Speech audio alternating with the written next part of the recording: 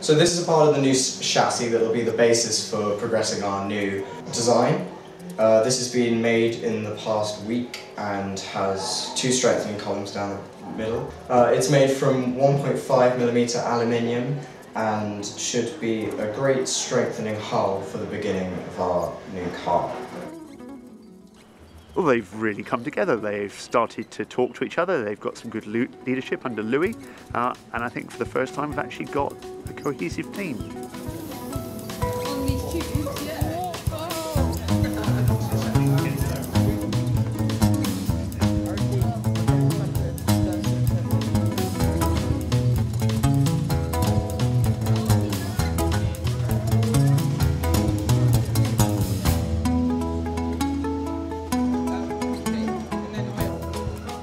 We have just about finished the car for the end of the season heat at Goodwood. Now this, this race helps us to qualify for the next races and other heats we're going to have in the season and we're just making sure the car is kind of ready.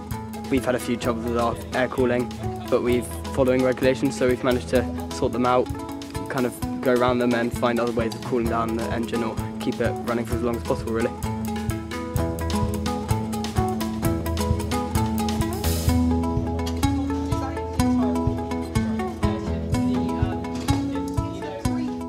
Well, it's its first outing for the year, so really it's in the lap of the gods, but we're very, very hopeful because they've done so much hard work that we hope that pays off.